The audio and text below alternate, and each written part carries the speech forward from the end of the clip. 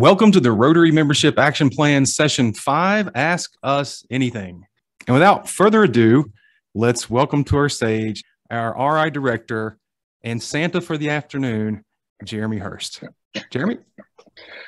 Thanks, Andy. And good evening, everyone, and welcome to our MAP Festive Season Edition. Uh, for any newbies amongst you, uh, MAP stands for Zones 33 and 34 Membership Action Plan. And for those of you who've been with us uh, from the start, you'll have had the opportunity to learn how to create a membership pipeline, how to connect with prospective members we generate, how to meaningfully onboard them, and during last month's webinar, how to create different types of clubs that meet the needs of today's members. We've had excellent attendance at our previous webinars, averaging around 350 per session, and we're really happy that each of you took the time away from what we know is a very busy schedule this time of year to be here at a regular Zoom meeting, our first, in fact, with us this evening. So tonight, this is your opportunity to literally ask us anything. Well, well, almost anything, as long as it's uh, membership related, of course. So to start with, we've captured some questions, some of the questions you felt that were most pressing following each of the previous webinar sessions. And later on, we'll also try to answer some of your other questions. So please, as Andy says, type them here uh, in the chat box in all caps only. Of course, it's unlikely we'll be able to answer all of them this evening, otherwise this session wouldn't be bite-sized at all. But rest assured, if we don't get to your question, we'll provide a written answer later. You're, of course, welcome to contact us directly by email with any burning questions or suggestions that you may have as well. So, one last thing before we go great news. A big congratulations to both Zones 33 and 34, who are currently ranking number one and two in North America for membership growth. And also at a district level to District Governor Troy Willingham and District 6950, who are at the moment the fastest growing district in North America. Great job, Troy. And I know a few of us are snapping at your heels there. This is an excellent testament to the hard work each of you have invested to make membership front and center in each of your clubs and districts.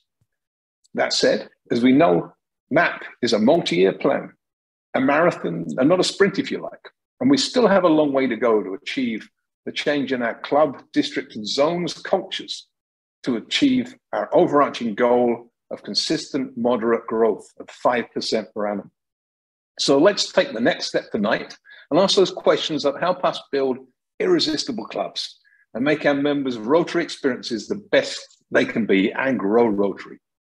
And now, it's my great pleasure to introduce your question master and moderator for this evening, the inimitable Rotary International Director nominee, my successor, my friend, the past Rotary coordinator, Patrick Eakes. Patrick, over to you. Thank you so much, Jeremy. I appreciate you getting us set up for tonight. Um, as has been mentioned a couple of times already, you can click on view at the upper right of your screen. I think that'll be the case for all of your devices. Um, and from there, you can choose a speaker view that will work well so that you can see the panelists who we're about to have to answer our questions.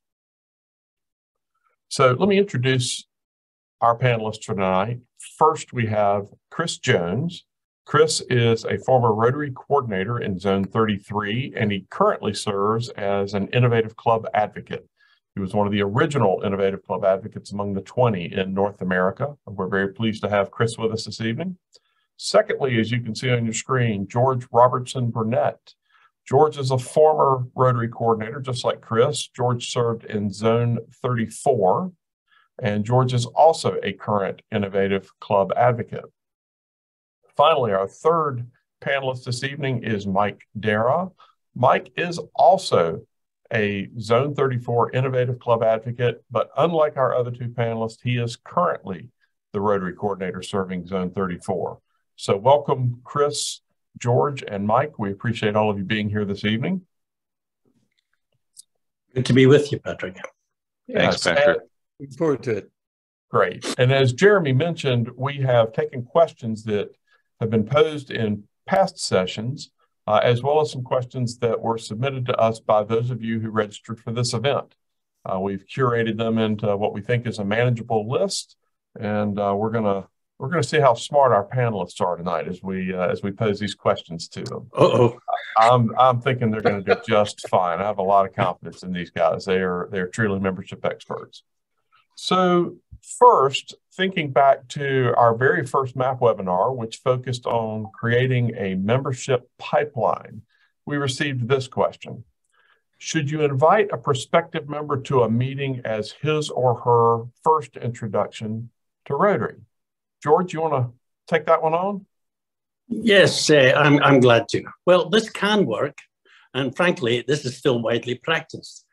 But many clubs find that a Rotary information hour, also called Discover Rotary, is more effective. Whilst meetings give a great opportunity to meet existing members, we should be aware that club meetings are very much aimed at these existing members. And our meetings generally have inclusions that, without explanation, are rather confusing to the non initiated. Happy bucks, fines, bossy sergeants, and let's not forget the singing. These can serve to confuse and possibly may even cause unease in prospective members.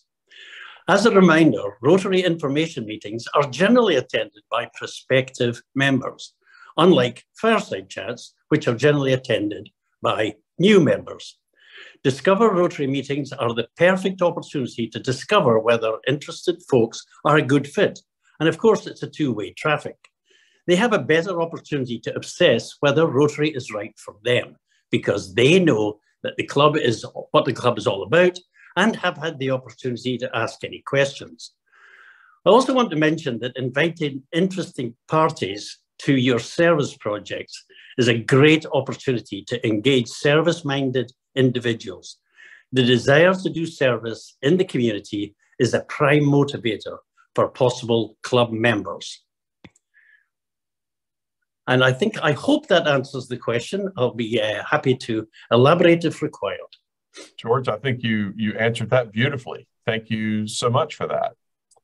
Um, staying within the topic of creating a membership pipeline, uh, we had a question that said, what prospect tracking tools are available for clubs to use? Chris Jones, would you answer that one for us? Patrick, thanks for the question and good evening, everybody.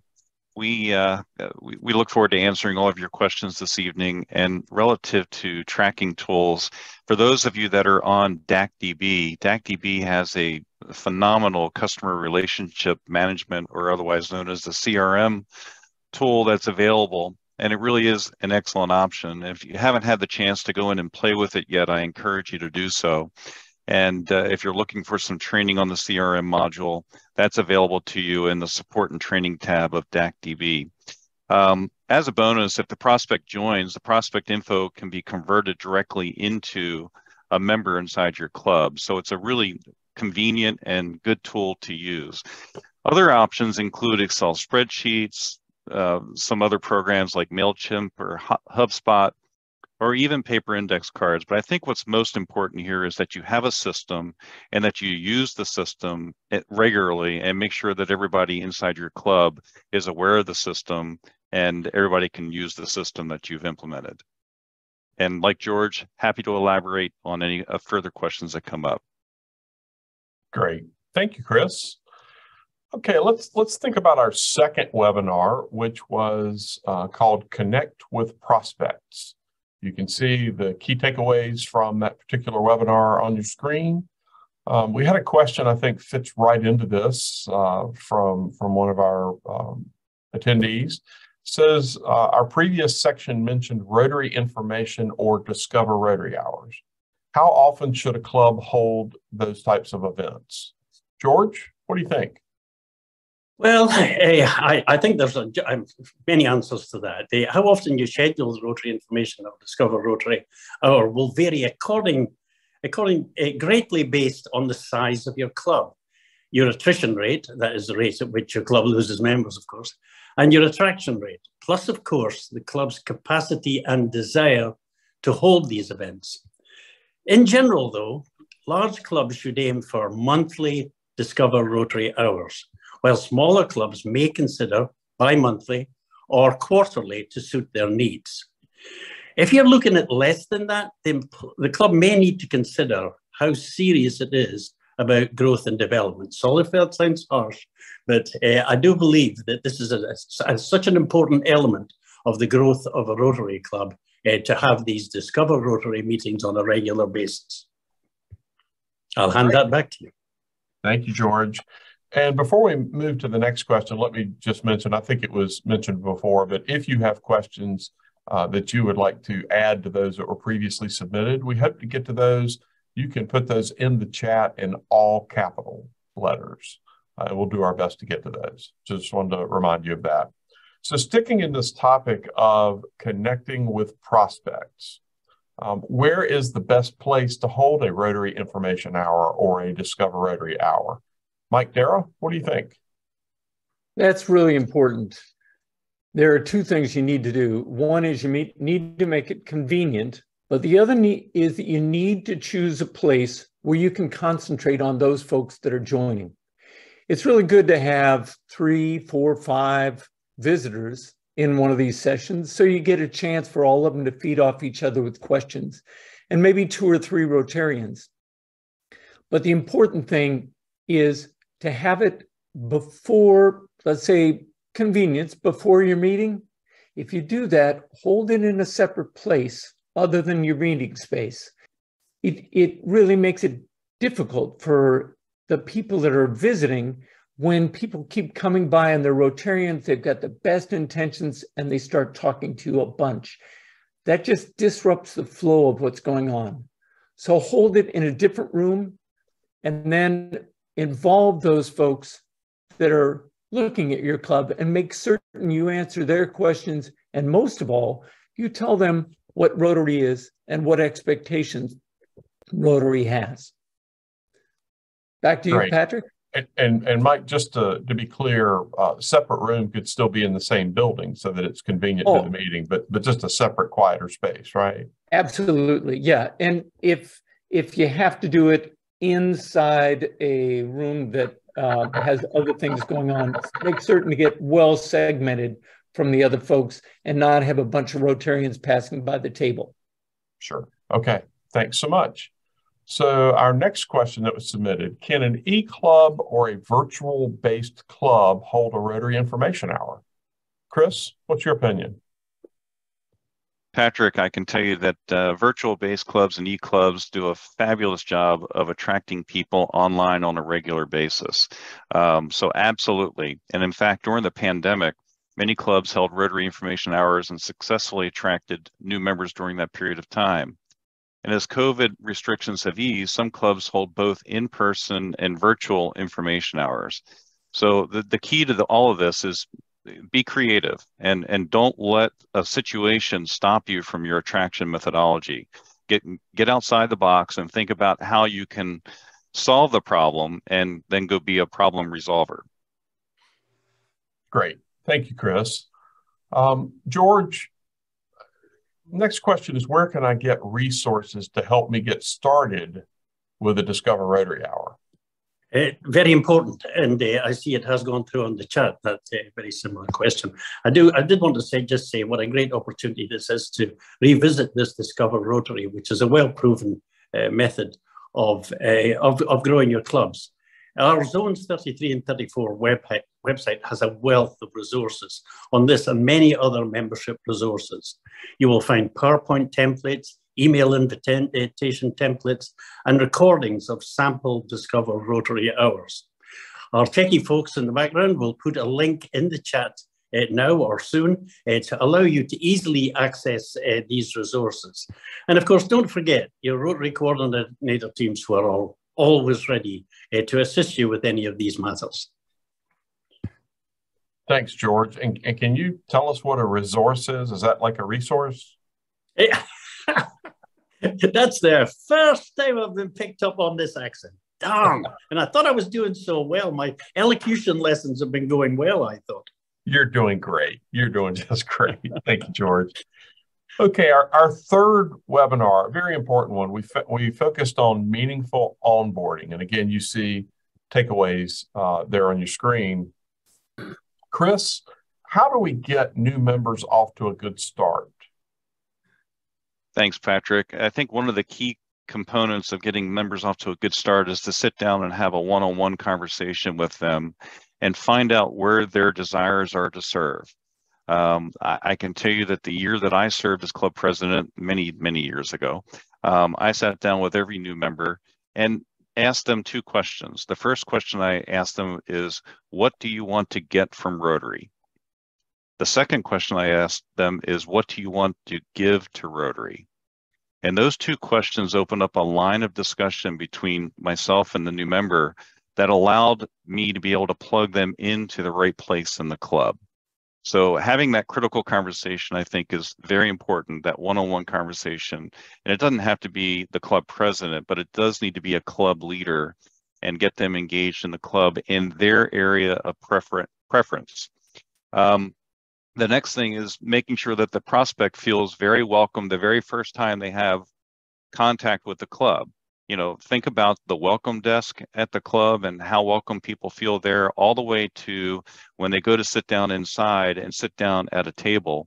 And hopefully they select a table where the people there are welcoming and they didn't say to the individual which has happened to me on some club visits uh, you can't sit there that's joe's seat um, so we want to make sure that you know we're always very welcoming and, and inviting to any new member or any new prospective member. And take the time to walk them around and introduce them to some other folks that are in the club.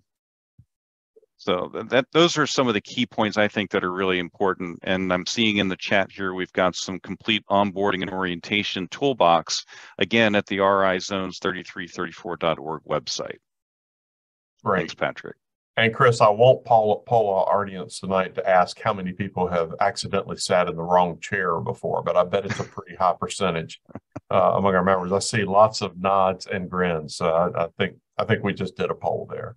Yep. Um, okay, so Mike, we have set appropriate expectations in advance of the prospect joining the club. What's next? So this is something that some clubs do well and other clubs do really poorly. You've got a chance to make this one of those memorable events in somebody's mind. You've got a chance to pull in their coworkers and their family so they get what Rotary is. And frankly, a lot of clubs just miss it. And sometimes they don't even introduce the new members. When you introduce and induct that new member, make it a big deal. Here are the things you do. I mentioned the coworkers bring those in. People that the the new member is going to feel really thankful that they're there to share this experience with them. Bring in their family.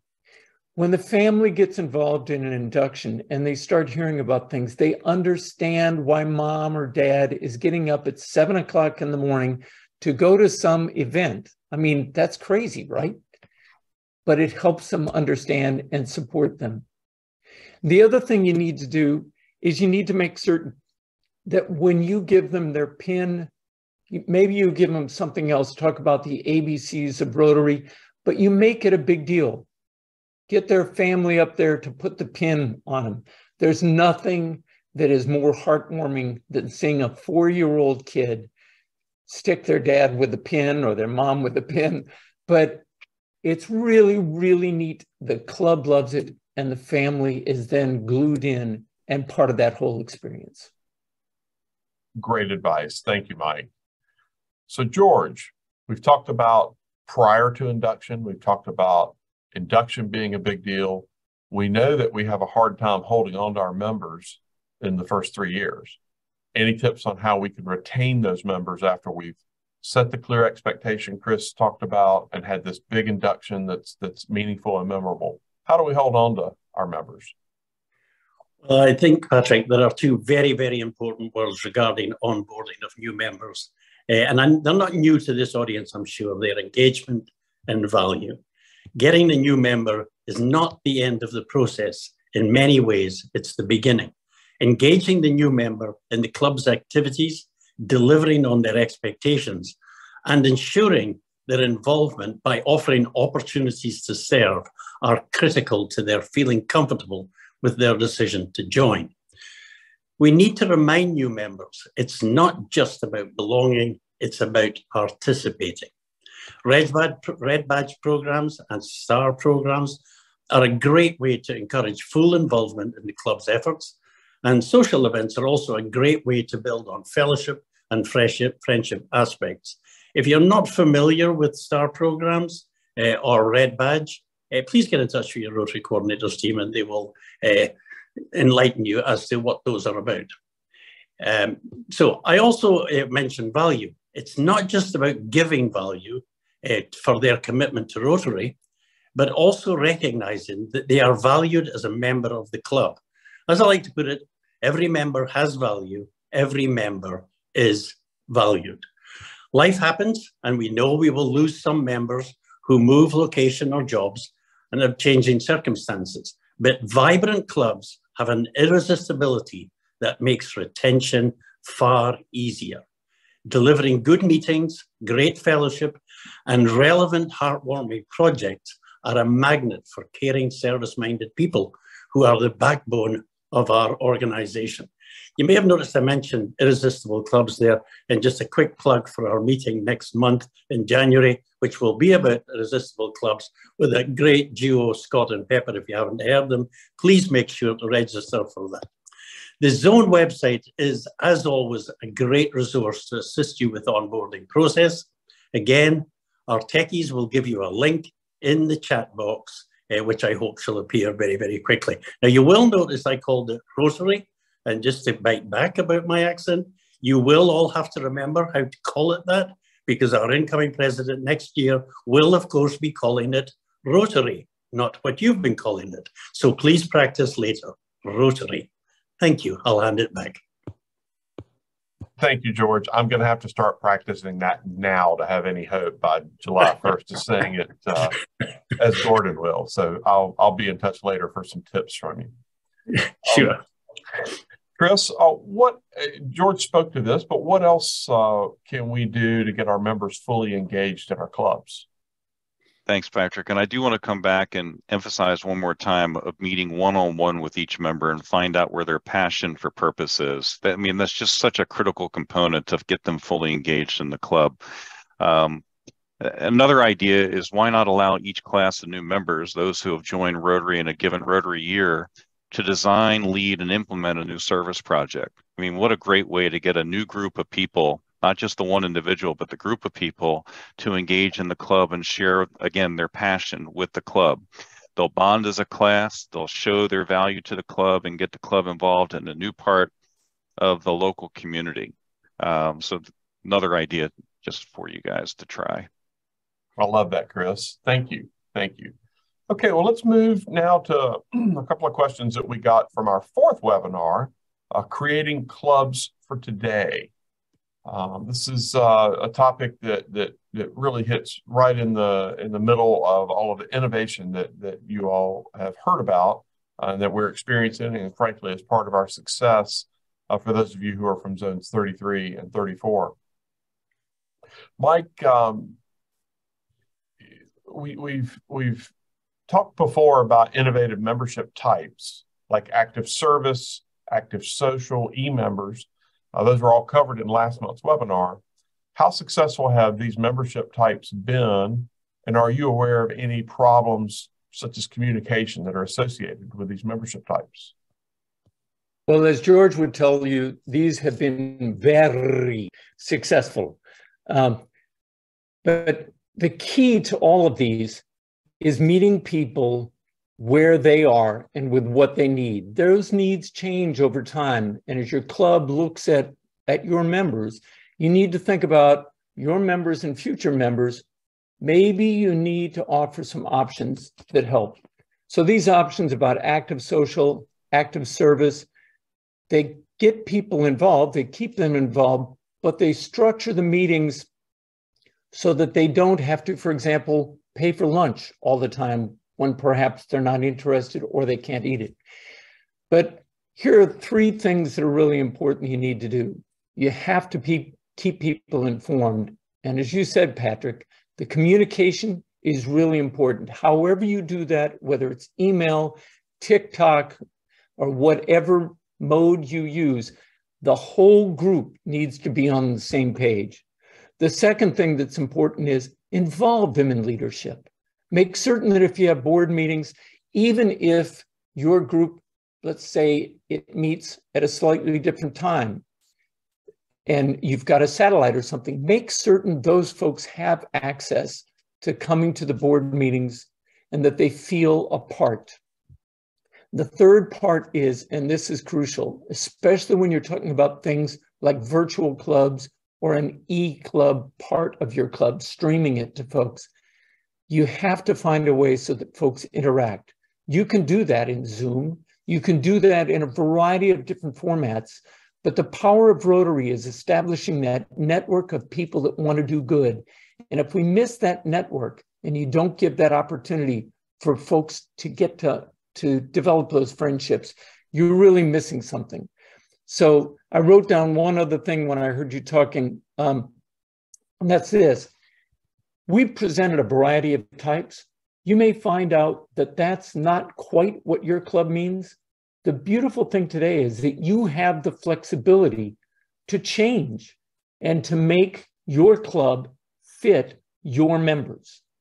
So do that, look at it, but keep thinking of those same things. Communicate, give access to leadership, and keep the interactions going. Thank you, Mike. I, have got a follow-up for you. This this was submitted by uh, one of our participants. Should we be concerned that offering less expensive innovative memberships type innovative membership types will cause our club to lose members who pay full dues? I've heard that before. And the reality is, if your club has pretty good retention, your folks are staying there because they're getting value for their money and for their time. What I found, and our club developed one of the first satellites. It was a fun satellite geared toward younger professionals.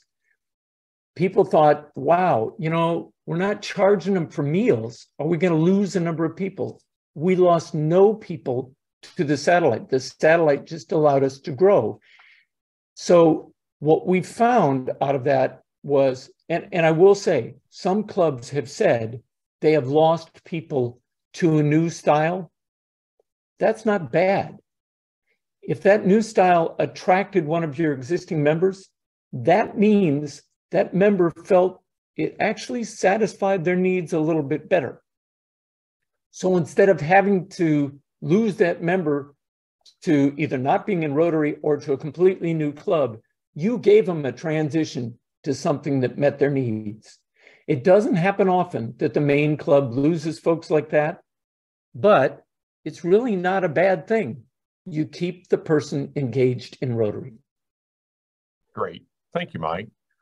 We received this next question. I believe it came in last night uh, from one of you who was registered for, for this evening's session. Um, Chris, I'm going to ask you to answer this one. The question says, I'm guiding my members in my club to accept some of the techniques I've learned in the MAP webinar series. What can I do to overcome resistance to change in my club? So once again, I'm going to refer folks back to the RI Zones 33-34.org website because there's some great content and material on the website. If you go there and you click on the search box and you type in the word culture, you'll come up with a litany of information on how you can uh, help affect the club culture and to build a guiding coalition to create vision inside your club.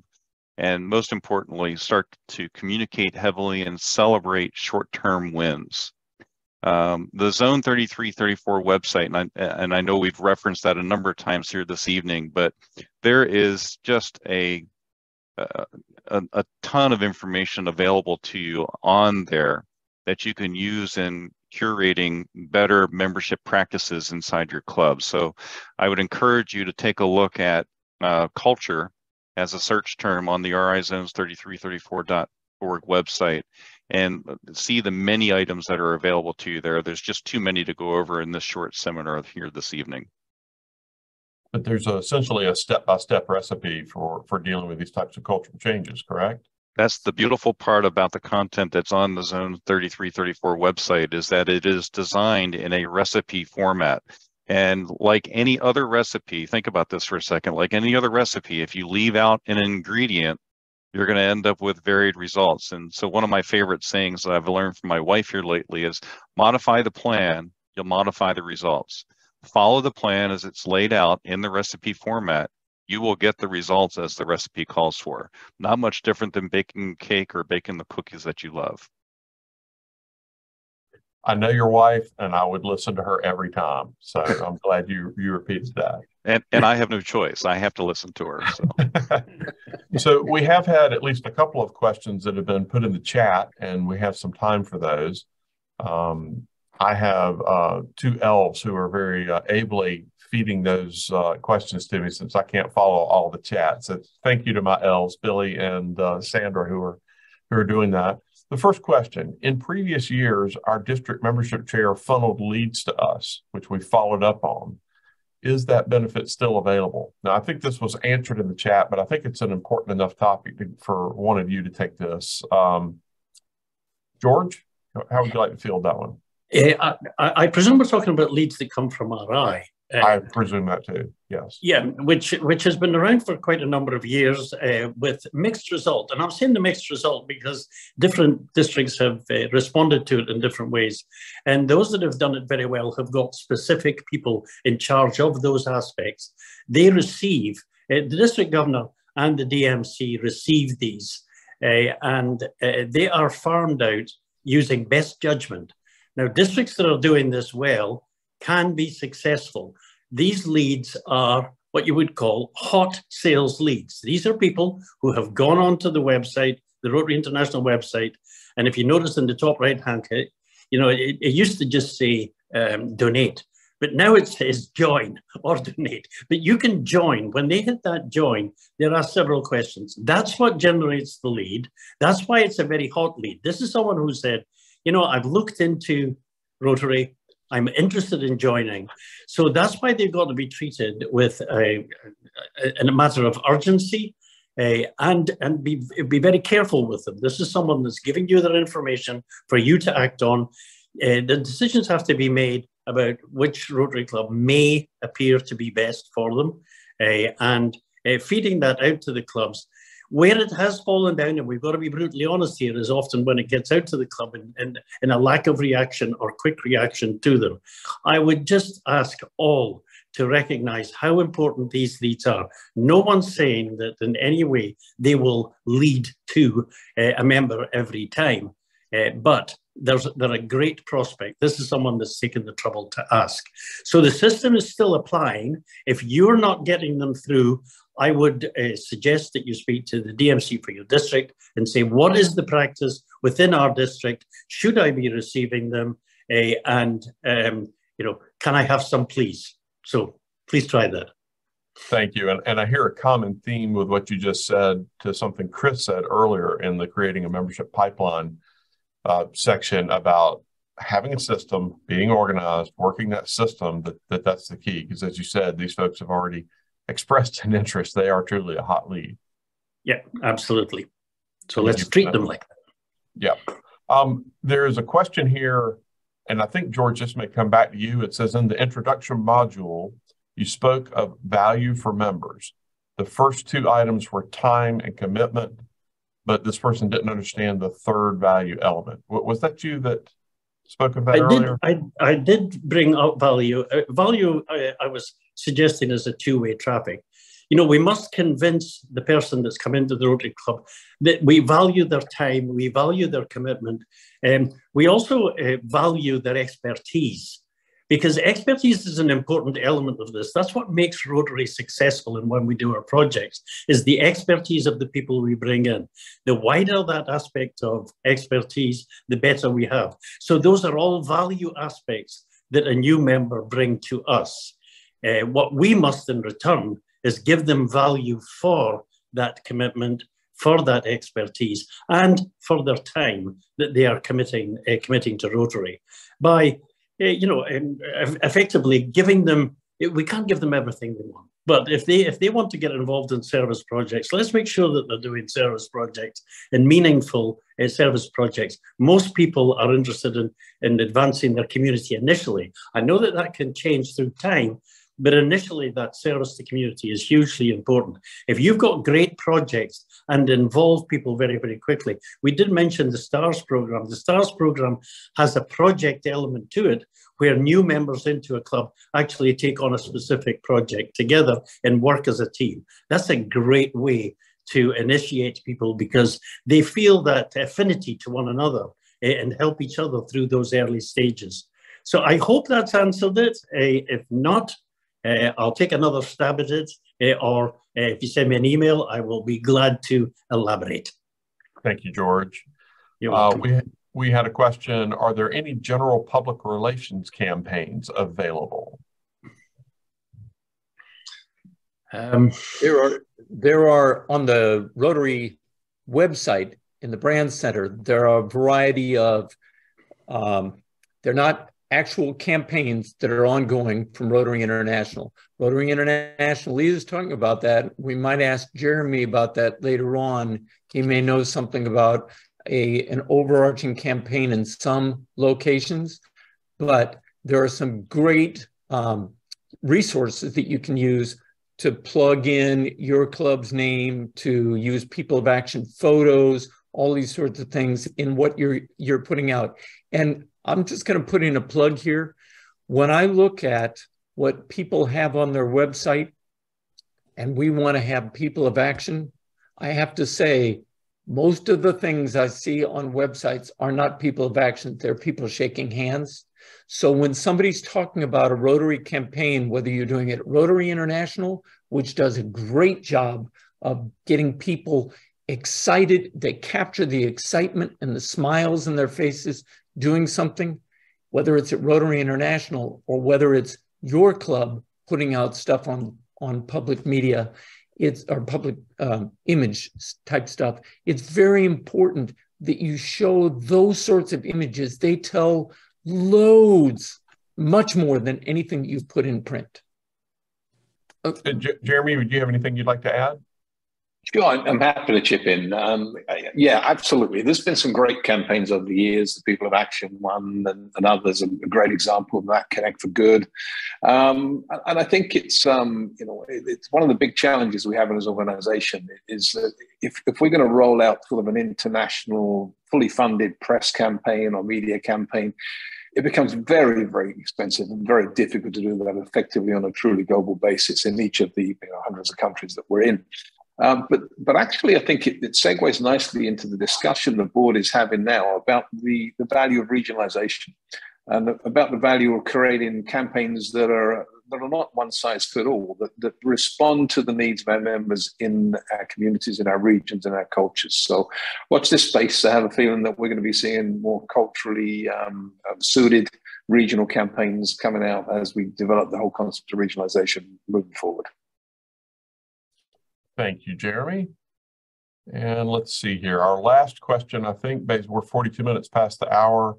Uh, Chris, I think this may be right on for you. Has yeah, yeah. Has the MAP program addressed how we prepare and motivate more Rotarians to simply make the ask to potential members? Well, that's all about getting the ask out, right? Um, and Lee, great question. I did put a, a, quick chat in, in the chat here for you about that, but our upcoming session on irresistible clubs will address this. And once our clubs become irresistible, people will want to join. And so, you know, a lot of people don't get excited about asking people to come join Rotary because let's face it, in some of our clubs, we don't have anything exciting going on. And uh, if we can get our clubs to be excited, exciting, and irresistible, getting people to to make the ask will not be a hard challenge whatsoever. Great. Thank you, Chris. And thank you to all of you who submitted questions over the past few weeks and in some of our previous sessions, as well as those, as well as those of you who uh, posed questions this evening. Uh, you managed to do so in a way that brought us just perfectly in on time. So uh, thank you for that. Panelists, uh, thank you for uh, sharing your wisdom with this evening. We appreciate that. And I will now pass this back over to Director Jeremy to take us to the closing part of our program. Well, thank you so so much, Patrick, uh, for ably hosting us this evening, and for our panel panelists as well, and our Q and A moderators, and of course, most importantly, to you, our audience of passionate membership champions. Uh, We need to continue to make sure that membership is front and center as our top internal priority. Remember also that membership increase and growth is just an end in itself. It, it's an indicator that our clubs are healthy and vibrant, that we're providing the value our members want, and that we're equipped with the capacity and expertise to take on bigger and bolder high impact projects and programs in our communities. Membership growth provides us with the tools to increase our impact and expand our reach into our communities. Membership growth is the best indicator that we're enhancing our participants' levels of engagement and that we're adapting as an organization to better reflect the needs of our members. And our community is becoming more diverse and inclusive, broadening our membership base as we do. In other words, MAP's goals are directly aligned with the key pillars of Rotary International's action plan and other key priorities. And that's important. So let's continue to keep membership a top priority and to grow Rotary for all these reasons. Before we go, I'd like to tell you about a few more exciting events that are up and coming uh, at zone level. Uh, join us on January 16th with our next uh, MAP bite-sized webinar and find out how to become, as we heard, an irresistible club with none other than Rotary International President nominee, Stephanie Urchick. The next day, of January 17th, see how our members have been working through our foundation, transforming communities with highly effective projects of impact. And then find out how to promote our projects by better collaborating with local media partners in Zone 33's RPIC team's Learning and Fun public image series. So hopefully tonight has been valuable for each and every one of you. It's been a pleasure for us. Great to see your faces for a change. Some of those holiday jerseys and uh, Santa hats. But on behalf of myself and Rotary International Director nominee Patrick and our full MAP team, I'd like to wish you, your families, the very best for a wonderful holiday season and a happy and prosperous new year when it comes. Thank you all so much. Good night.